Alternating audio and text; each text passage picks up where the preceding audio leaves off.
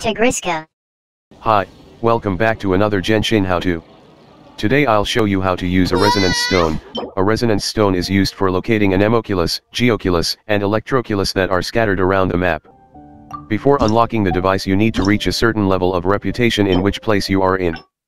Crafting the devices requires specific local specialties as well as crystal chunks. Using the device is as simple as equipping it and activating it. Once activated an area of effect will be seen on the map which identifies where the anemoculus is, all you have to do now is go to the area and find it. Hope this helps.